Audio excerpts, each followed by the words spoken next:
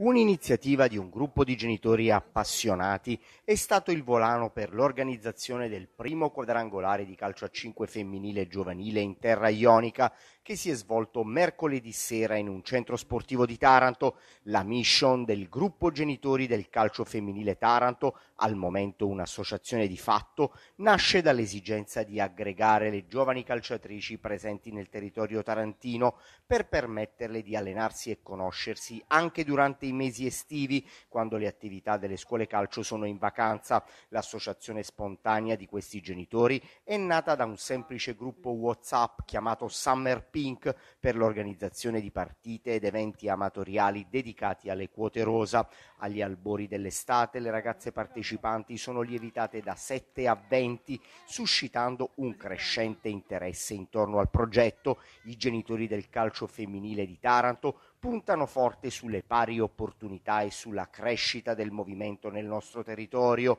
quindi non più partite miste con i maschietti, ma incontri dedicati esclusivamente alle giovani calciatrici, anche alle neofite che vogliono semplicemente cimentarsi in questo sport in nome delle pari opportunità e dell'uguaglianza di genere. Il gruppo è presente sui social Facebook e Instagram con la denominazione Partite di Calcio Femminile Taranto Taranto per l'organizzazione di incontri di calcio con cadenza settimanale. Questo primo quadrangolare organizzato grazie al supporto di Spartan Polis e Tutto Sport Taranto ha visto la partecipazione delle squadre denominate Real Madrid, Barcellona, Chelsea e Manchester City con il comune denominatore di Pink ed è solo il primo degli eventi in programma che proseguiranno anche nel prossimo inverno. Poco importa il risultato finale del torneo, con sorrisi e premiazioni per tutte le piccole calciatrici, resta in evidenza il bilancio estremamente positivo della manifestazione. Ho visto tantissime ragazze che sono approcciate a questo sport, eh, anche genitori che vedo che hanno portato ovviamente le ragazze, sono stata molto contenta, le ragazze sono state anche loro ovviamente molto contente e hanno hanno giocato